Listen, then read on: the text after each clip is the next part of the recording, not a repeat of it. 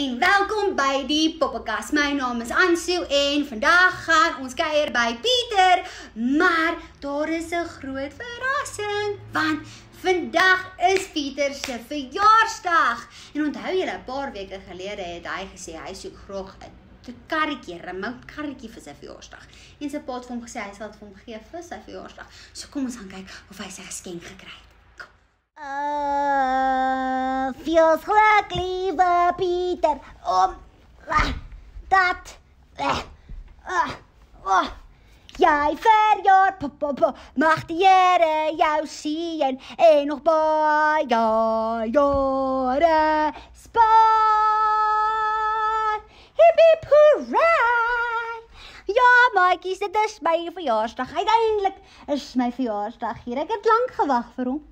Onthou julle maatjie so 2 weke terug toe wil ek so graag die coolste remote karretjie hê.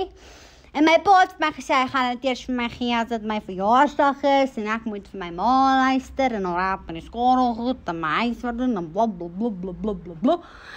Wel, ek het ook vergeet om nou en dan my huiswerk te doen en soms het ek nie my ma gehelp met die skool goed nie. Maar weet julle wat het ek gekry vir my verjaarsdag? Remote karretjie, net soos my pa gesê het hy vir my sal gee. En ek was bekommerd, onthou julle? Ek was bang dat my pa gaan vergeet of dat hy nie vir my die remote karretjie gaan gee nie of as ek stout is dan gaan hy nie vir my gee wat hy my beloof het nie. Maar my pa het ook vir my gesê ek kan hom vertrou en dat hy sy woord sal nakom. En Boom! Ek kon my pa vertrou het. Hy het vir my my karretjie gegee en dit is die beste verjaarsdag ooit. Oh, oh mamaatjies, ek het 'n partytjie hier by die huis. So, um, ek moet vir julle nou groet, maar baie dankie dat julle by my kom kuier het vir my verjaarsdag. Ek sien julle volgende week. Bye. Maatjies, Pieter het sy geskenk gekry. Hoe lekker is dit nie?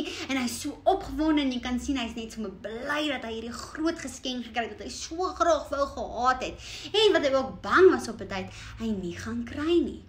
Maar omdat sy pa 'n goeie pa is, kon Pieter hom vertrou het en het sy pa gedoen soos wat hy gesê het hy gaan doen.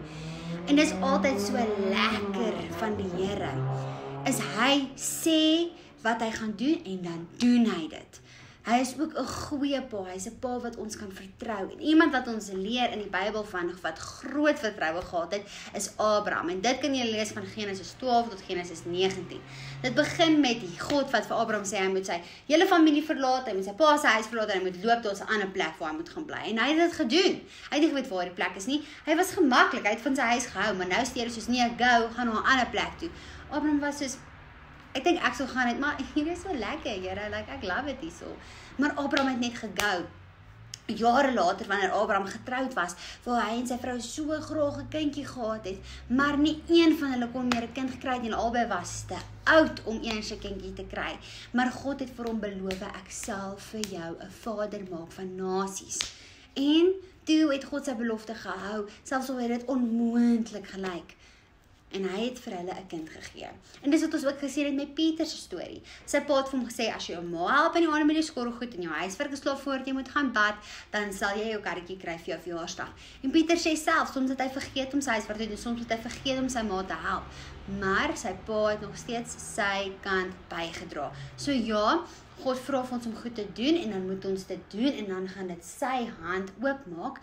Maar Ander kere is hy ook net hy is lief vir ons en hy wil vir ons gee wat ons gelukkig maak. Hy is 'n goeie pa, ons kan hom vertrou. So gaan lees meer in Genesis 12 tot 19 van Abraham en sy vertroue in God en vra ook vir mamma en pappa hoe vertrou hulle vir God en is dit moeilik en is dit maklik en wat doen jy as dit moeilik raak en wat doen jy as dit maklik is en net hoe vertrou mens God. Uh, Mammaatjies, ons sien julle volgende week weer.